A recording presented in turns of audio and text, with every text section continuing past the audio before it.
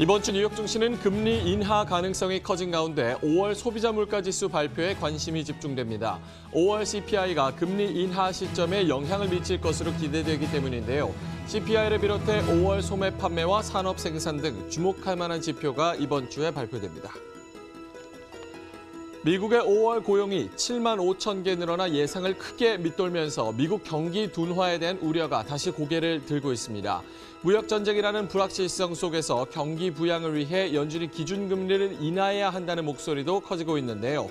오는 6월 19일 FOMC에서 금리의 변동이 있을지 시장은 주목하고 있습니다. 미국 중국 정부가 미국 마이크로소프트와 델, 영국의 ARM 그리고 한국의 삼성과 SK하이닉스와 면담했습니다. 여기서 중국과 거래를 끊으면 심각한 결과를 부를 것이라고 위협한 것으로 알려졌습니다. 반도체 총 수출의 40% 정도를 중국이 차지하고 있는 삼성과 SK하이닉스는 곤혹스러운 처지가 됐습니다. 국제유가는 이틀째 상승세를 이어갔습니다. WTI는 전날보다 배럴당 2.7% 오른 53달러 99센트의 거래를 마쳤는데요. 사우디 에너지 장관이 러시아에서 열린 컨퍼런스에서 감산 연장 합의에 근접했다고 밝혔습니다.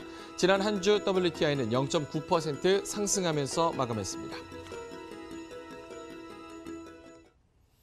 네, 시청자 여러분 안녕하십니까. 해외 시각을 생생하게 전해드리는 머니투데이 글로벌 랩. 오늘도 월요일 힘차게 시작합니다. 저희가 생방송으로 한시간 동안 진행이 되는데 아, 그 부분에서 저희가 좀 전해드리지 못하는 부분은 인터넷 창구를 이용해 보시면 좋을 것 같습니다.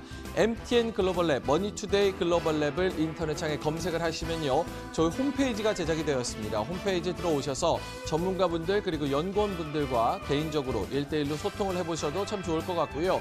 또 다시 보기 컨텐츠를 이용해 보시면 큰 도움이 될 것 같습니다. 저희가 corner by corner로 항상 uploading을 하고 있으니까요. 놓치신 부분은 다시 보기 어, replay를 통해서 어, 다시 보시면은 이제 투자 아이디어를 얻는 데 큰 도움이 될 것으로 예상이 되고 있습니다. 자, 뉴욕 증시 마감 상황부터 좀 살펴보도록 하겠습니다. 금리 인하에 대한 목소리가 더 커지는 그런 분위기입니다. 특히나 고용 지표가 아, 비농업 민간 고용에 이어서 ADP에 이어서 비농업 민간 부분에서도 7만 5천 개 일자리가 늘어나면서 예상치 절반도 못 미치는 수준으로 나타났습니다. 이로 인해서 무역 전쟁에 대한 여파가 여기 고용 시장까지 미치는 것 아니냐라는 우려의 목소리도 커지는 아, 동시에 금리 인하에 대한 목소리도 같이 커지고 있습니다. 그로 인해서 이번 주에 나오는 펀더멘털 지표 더 주목이 되고 있는데요. 일단은 5월 CPI 지표가 이번 주에 발표가 되고요. CPI가 또 부진하게 나온다면 금리 인하에 대한 목소리도 더 커질 것으로 예상 이 되고 있습니다. 이외에도 소매 판매 그리고 산업 생산도 발표가 되니까요. 이번 주도 저희 글로벌 랩과 함께 하시면 좀 좋을 것 같습니다. 자, 뉴욕 증시 마지막 거래는 1%대 상승으로 거래를 마쳤고요. 다우존스, S&P 500 1% 넘게 상승했고 특히나 그동안 많이 빠졌던 나스닥 1.6% 10% 넘게 크게 상승하면서 마감했습니다. 자 이렇게 증시가 전반적인 상승세 속에서 특징주 있었습니다. 아, 급격하게 상승한 종목 함께 알아보도록 하겠습니다. 첫 번째로는 아, 밀레니얼과 Z세대 소비자를 대상으로 하는 온라인 패션 쇼핑몰 리볼브 그룹이 상장에 성공했습니다.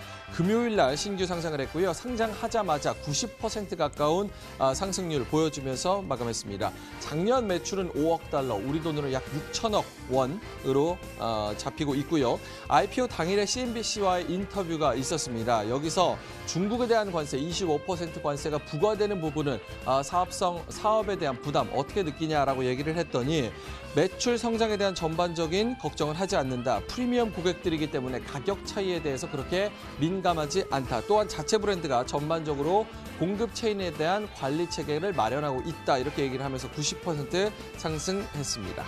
두 번째로는 나스닥에 상장되어 있는 스튜어드십 파이낸셜입니다. 72%가량 올랐는데요. 이름에서도 알, 다시피 금융사라고 볼 수 있습니다. 전통적인 상업은행 업무를 수행하는 금융 지주사인데요. 콜롬비아 파이낸셜에 의해서 M&A가 된다, 인수가 된다라는 소식이 나오면서 72%가량 올랐습니다. 마지막으로 딕시 그룹인데요. 55% 상승했습니다. 고급 주거용, 고급 카펫과 러그를 제조 판매하는 회사입니다. 특별한 이유가 없었고요. 어, 급등 이유에 대해서도 회사 자체에서도 공지사항이 없다 이렇게 밝혔습니다. 하지만 아무 이유 없이 55% 크게 상승했네요. 자 이렇게 뉴욕 등시 전반적인 상황 그리고 특징주까지 알아봤습니다. 시황센터 연결해서 글로벌 시장 전반적인 흐름 어떻게 흘러갔는지 알아보도록 하겠습니다. 유르맨커입니다.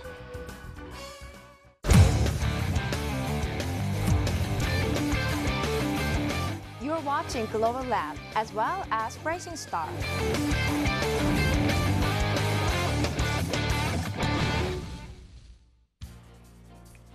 네, 지난주 여러 가지 이슈 속에서 조금 걱정을 많이 했다면 미국 증시는 오히려 증시가 반등세를 보인 한 주였습니다.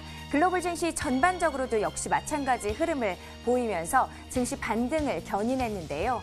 자, 미중 무역 갈등도 계속해서 이어지고 있고 멕시코 관세 부과에 대한 부분도 금요일 장에서 알려졌기 때문에 다소 이 어, 무역 전쟁과 관련된 이야기보다는 이 경기 둔화에 따른 아, 어느 정도 시장에 대한 이런 금리 인하에 대한 기대감이 시장을 가장 크게 반등으로 이끌었습니다.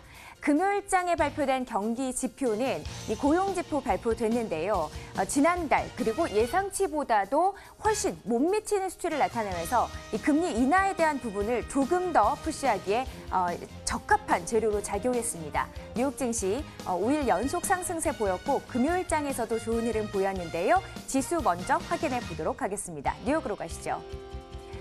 자, 미국 3대 지수 보시겠습니다. 다우지수 1% 이상의 상승세 보였습니다.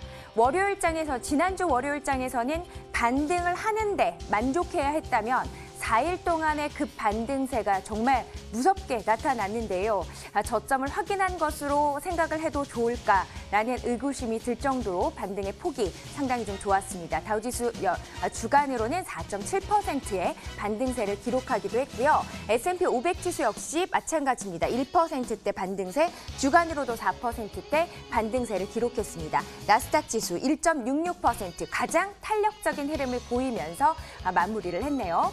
자, 미국 증시에 이어서 유럽도 역시 마찬가지 흐름을 보였습니다. 자, 유럽 시장의 움직임 일단은 뭐 연동이 되면서 오히려 부진한 고용 지표에 주목하는 흐름이었습니다. 어, 유로스톡스 지수 50은 1.2% 상승세를 기록했고 독일이 0.77%, 프랑스가 1.6% 이상의 반등세를 보이면서 가장 좋은 모습으로 마무리가 됐습니다.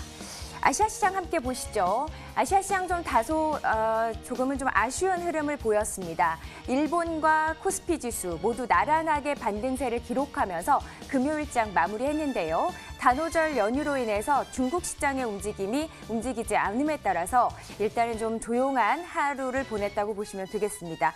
중국, 홍콩 그리고 대만까지도 휴장을 하면서 어, 아시아권에서 좀 휴장하는 국가들의 눈에 많이 좀 띄었고요. 코스피 지수 0.16% 지난주 2070선 16거래일 만에 회복세를 보여주면서 그래도 2040선 저점으로 해서 반등을 모색하는 흐름을 보여줬습니다. 일본 니케이 지수 등락을 보이긴 했지만 투자 심리가 그래도 좀 개선되는 흐름이었죠. 0.53% 반등 폭에는 다소 제한이 있었습니다. 신흥국으로 가시겠습니다.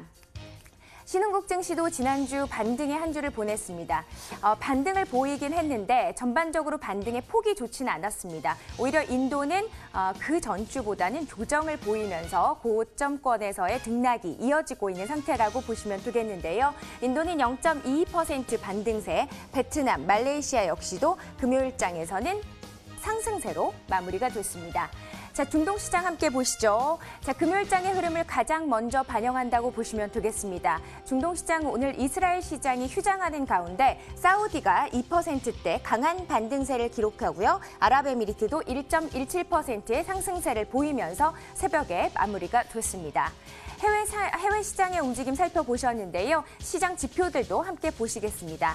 환율은 달러 인덱스 지수가 약세권에서 마무리했습니다. 0.5% 조정을 보이면서 달러 인덱스 지수 96.56을 기록했고요. 아, 1,200원 선 눈앞에 두고 있는 상황에서 한 주 쉬어가는 흐름이죠. 원달러 환율의 흐름도 다소 좀 안정세를 기록했습니다. 달러에는 108.18엔을 기록했습니다.